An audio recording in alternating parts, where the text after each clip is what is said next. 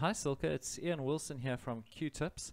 I'm just responding to that email you sent me and just to, to create a quick video to show you how to do your volume calculations for that excavation that you were looking at.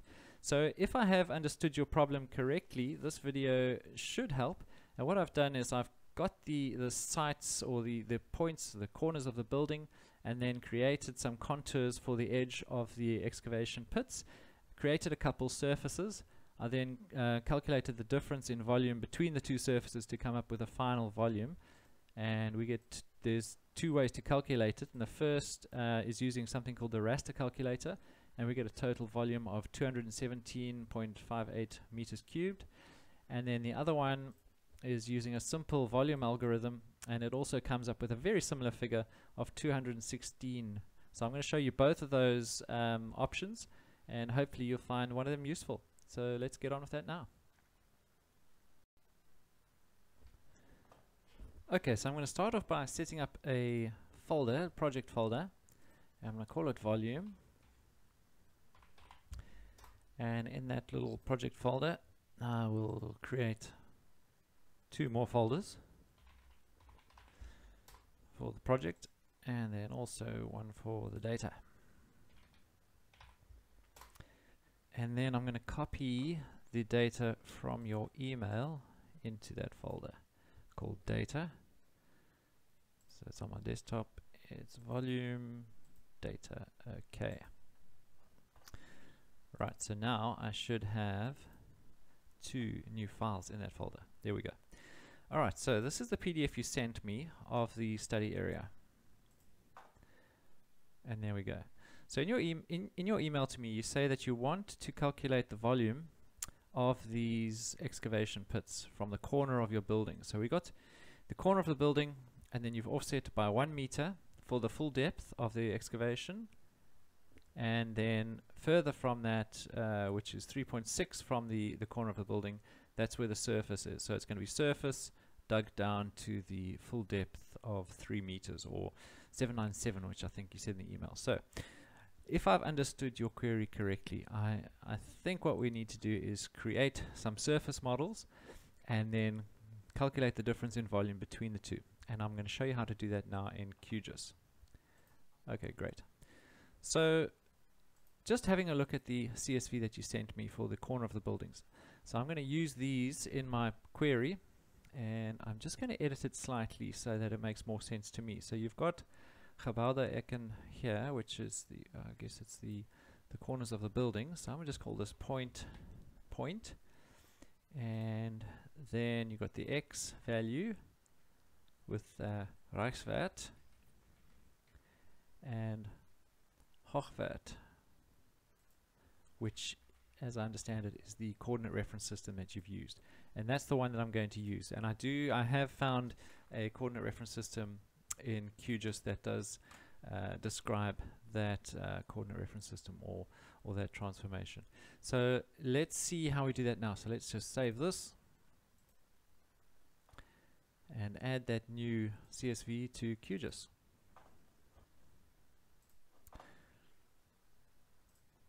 Right. So I'm going to use my data source manager, select the delimited text option, navigate to that tutorial, ah, to that CSV. There it is there. Okay, and I've added this once before just to check if it worked. So, and that is the coordinate reference system that I'm going to choose. And then everything else is adding correctly, and I can see the three columns, which is how I expect to see it. And I needed to set the custom delimiters to semicolon, but everything else looks good. So let's add that and the transformation type I'm not sure so I'm just going to choose that first one if it's different you'll know which one to choose. And close. There we go. So there we've got four points added. Just got the corners of our building. So let's just change this color ever so slightly so I can and size so that I can see it. And then what I can do is just just confirm that I'm in the right area. So what I'll do is add the OpenStreetMap the uh, OpenStreetMap standard view or, or standard tile and then compare it to your PDF that you sent me. So I need to go back there to that folder. I probably shouldn't have closed it, but let's just open up that PDF and have a look, see what that looks like. Okay, so if we look at that info compared to what I've got on my screen, that's the right place. Okay, so assuming that's the right place, I need to crack on and show you how to calculate that excavation volume. Right, so what we need to do is create the buffers which you suggested you have already done, but I'll start from scratch and create these buffers. So we're going to use the vector geoprocessing tools buffer tool and we're going to set the distance of 1 as the offset distance. We can dissolve the result and we'll create a temporary file for now. Run that. There we go. And then do the same thing but with 3.6 as the distance. Okay, let's add that, drag that below. Okay, so now we've got the buffer, the buffer distance of, of 1 meter and 3.6. So the distance, as I understand it, 3.6 is the, the, the, the surface edge, and then the depth of 1 meter is uh, the, the, the full depth below the actual corner of the building. So that is uh, 800 meters minus 797, so that's the depth of 3 meters. So what we need to do is we need to turn these buffers, which are currently polygons, into lines, then assign the elevation values to those records or those different features, and then create a surface model and calculate the elevation or the volume difference between two between two surface models or two or two rasters. So what we need to do is firstly join these buffered layers and then turn them into lines. So I'm just going to rename this one so we can see a difference between the two. And then we'll use the tool under geoprocessing tools called union. And we're going to buffered one to buffered. The overlaid field, we're not worried about overlaid fields, and we can create a temporary layer once again. And close. There we go. So we'll turn those off this should now be a a combined a combined layer. Right. So now we need to convert that into lines. Because we want to use the lines. I'm going to create those turn those lines into contours and then convert the, the, the lines into a surface model. So let's use the vector tool geometry and it is polygons to lines. So we select that option union and we'll create a temporary file again and close and turn off that union. There we go. Right now this currently is being treated all being treated as as one layer. And then it's got a second layer there. So what I'm going to do is just edit and delete this one. And then stop editing and see and then I want to split this into separate features. So currently all, all, these are being treated as one feature, so that's why there's only one record in the attribute table, but I want to split it into um, single parts.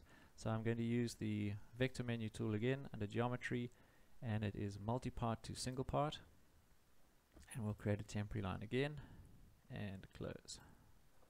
Well, let's see what that looks like. Right, so now we should have, I'll just turn this one off. We should have separate features for each of those lines. So each each of those lines will be its own feature and have its own record in the attribute table. So that's what we want to see. Everything else here that we've already used the buffers and the union and the original line we can remove from our project. We don't need to see those anymore. And while I'm thinking of the project let me save this project as something in our in our parent folder and we'll just call it excavation. Right. Okay, so I am going to, first of all, let's just change this color slightly so that uh, you can see it online. I know sometimes it's difficult to see depending on the resolution of your screens. There we go. Okay, so we the depth of the edge of the hole is going to be the same as the rest of the surface. And if you, you have indicated to me that this has got a one in one slope, so it's all flat, and that the uh, the the depth I think you said is 800.6 meters, but I'm just going to assume it's 800 for for argument's sake. And then the bottom is uh, 797. So we'll create um, new column, a new column in the attribute table for the elevation. So we'll start editing and we'll create new columns or a new column. Let's call it elevation and it is going to be a decimal number. The length can be 6. It doesn't really need precision, but we'll give it a precision of 1. There we go. And now we just need to set the actual values. So that's 800. So we'll use the the field calculator to calculate this value and it's 800 okay yeah happy with that. And then everything else is going to be 797 so field calculator again. 797 okay. Right there we go. Uh, there's a couple columns here I don't need uh, so I'll just remove them. So it's everything else. Just say okay remove those these don't have names but it's it's not really critical at this point if you wanted to you could go in and name those if you needed to all right. Right, so the other thing I want to do when I create this these surface models is have an, an extent. So I'm just going to create a final um, contour line, which is the extent of this this uh, this area. So let's. I started editing again. I'm going to open a. I just want to access a toolbar down here, which allows me to add a shape. So it's shape digitizing, and the one I want is the rectangle. Whoops, let's just try that again. There we go. And the elevation of this one is 800 as well. Okay, so now we've got the flat area. So this contour is 800. The edge of the pits is 800. And the bottom of the pits is 979, uh, 797. Okay, so now we can stop editing. And you'll see that this is still a temporary file, but I'm quite happy that we are going to use this and it, I can commit it to, to be a permanent file. So I'm just going to right click on it and say make permanent. And then go into my folder that I created under data. And I'll create a new folder here. Just call it vector okay so in that folder we're going to have a new file called contours Okay. Alright, so now we can use that to create a surface model and we use that elevation value. Okay. Okay, so you see that little chip that was, uh, that little chip icon was indicating that it was a temporary file. It is now a permanent file. So let's rename this.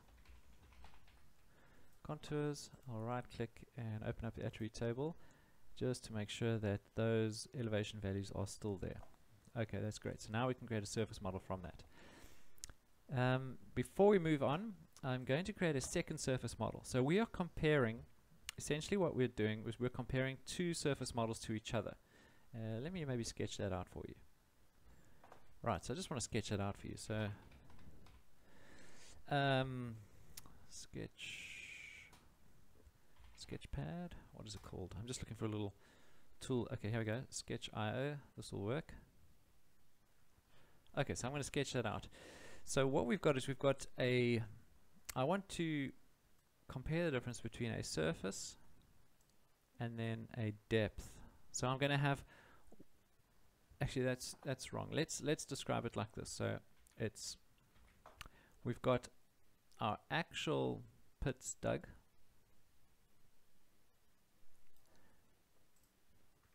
And we're going to compare that to this surface. So we're going to have two layers. We're going to have one which is the surface and then the actual pits. And then what we'll do is by comparing them, we're going to calculate the difference between the two, which will give us a volume. So for, for, for that reason, we need a second raster, which is just going to be the extent or the greater area, which is flat, which is uh, 800 meters above sea level. So to do that, I'm just going to create a new layer, and it's going to be for just for this contour, and I'm going to export it, save selected features as, and this one we'll just call it the 800 800M contour. Okay, everything else is fine. Okay, so now we have two line layers which we can create our surfaces from. And the surfaces we are going to create are triangulated irregular networks and you can access those via the processing menu. So if you haven't accessed it already or activated the plugin, you'd need to go to plugins, manage and install plugins, and then under the installed plugins, there is a plugin called processing. Now this is a core plugin, so it is packaged with QGIS, so you just need to turn it on. You don't need to install it, but you may already have yours turned on. So if it is turned on, you'll see a menu with processing, and then a toolbox, and you'll also see an icon with the toolbox uh, icon. So we're going to open up that toolbox, and we're going to search for TIN for triangulated irregular network and that'll give us access to tin interpolation. So this is the one we want. So we're going to create surface models from these. Before I do that I just want to deselect all la selected layers and then maybe zoom to their full extent and then let's run this tin interpolation. So we'll start off with the greater area. So this is the 800 meter contour.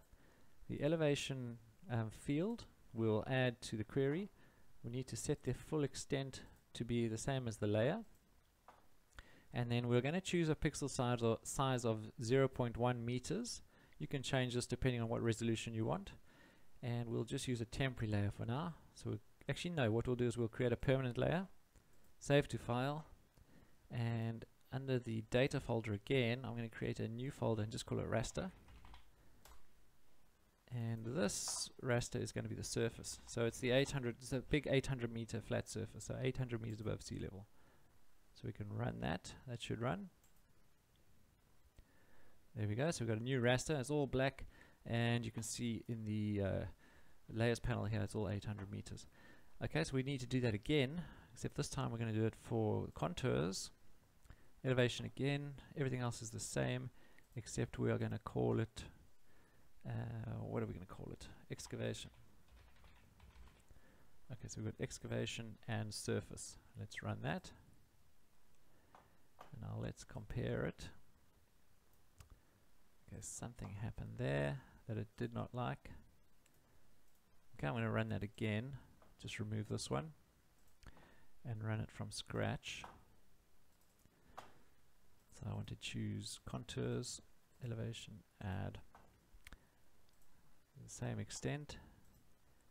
And then we will just it's probably going to be a file there already so we'll just overwrite this excavation one and run and close. There we go. So that's what I expected to see. Um, so what we've got here is we've got 800 meters being white so all these flat areas and then the darker areas are deeper or or less a lower elevation so so basically the edge of our pits dip down and then this little gray gradient shows us that it goes into the pit and then out the other side. So now what we can do is compare the difference between these two raster surfaces and we will do that using a tool called the raster calculator. So let's close this down.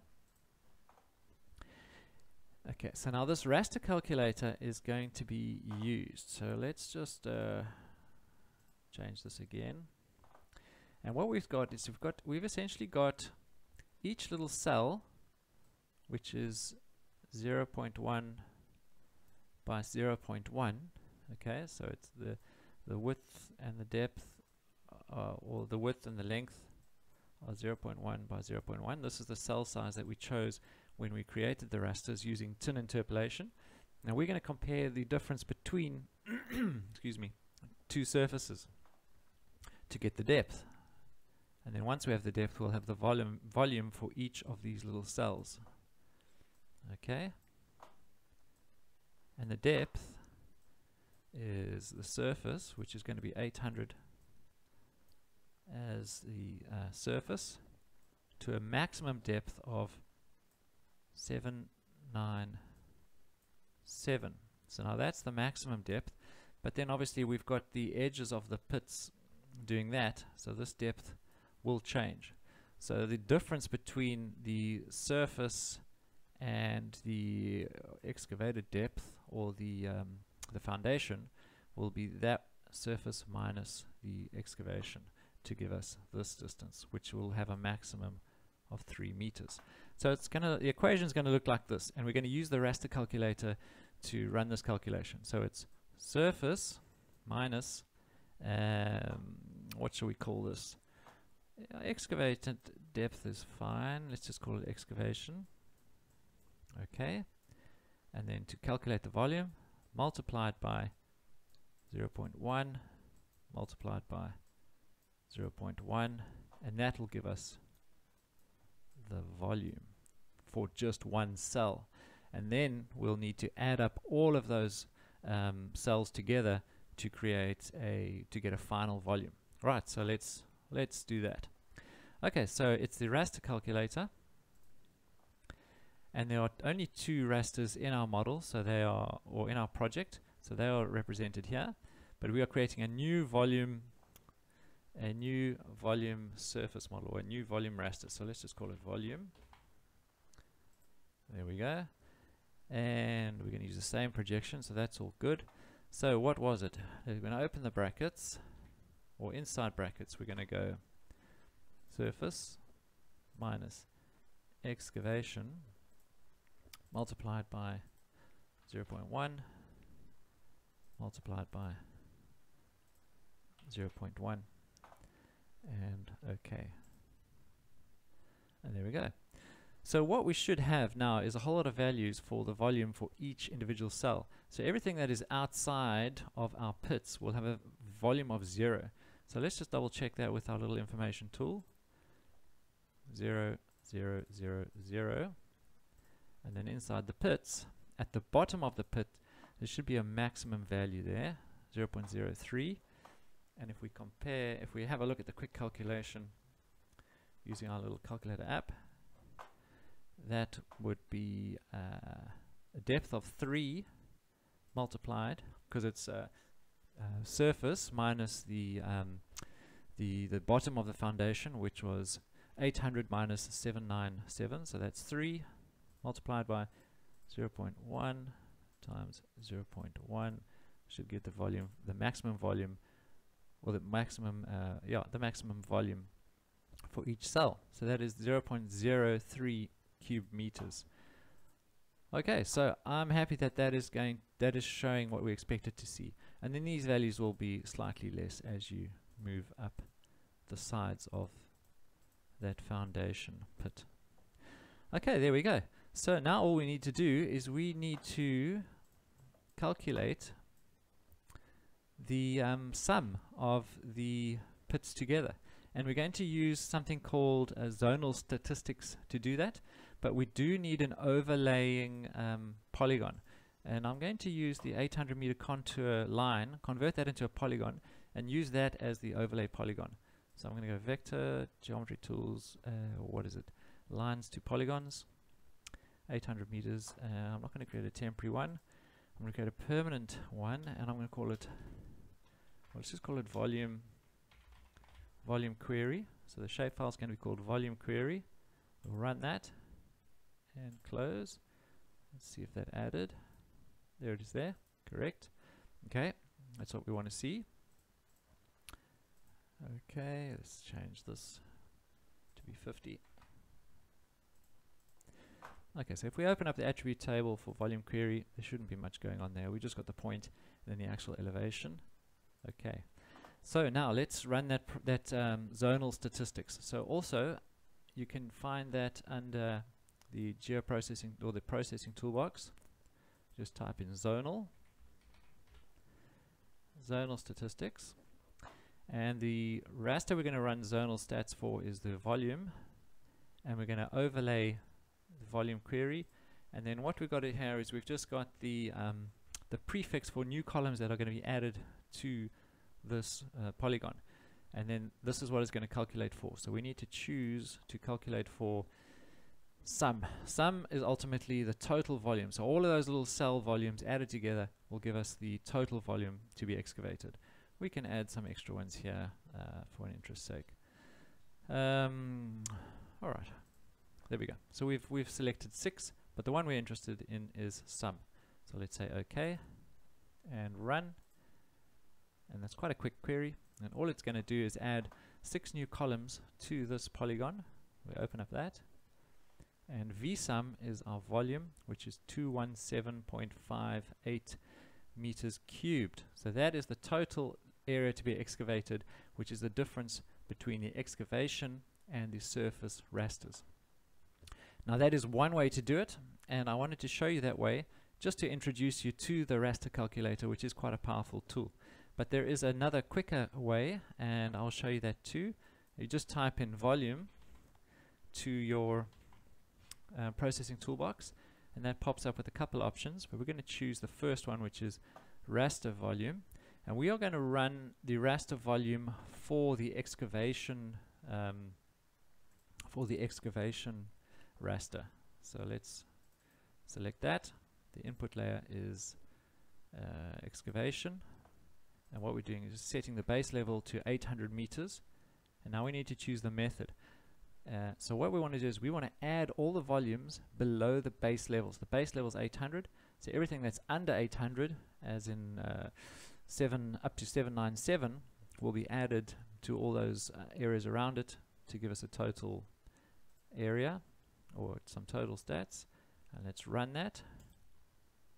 And what it does is it creates a, a HTML file. It stores it in a temporary folder on your system and gives you a little link to it down here. So if we click on that link, it pops up with the actual volume for that specific for that specific uh, query, and it's 216. Now, if we compare that to the raster calculator, they're not quite the same, but they are very close.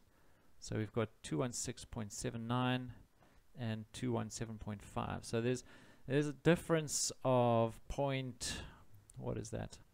0.8 cubes. So nearly a meter cube difference between the two, which might be significant or it might not.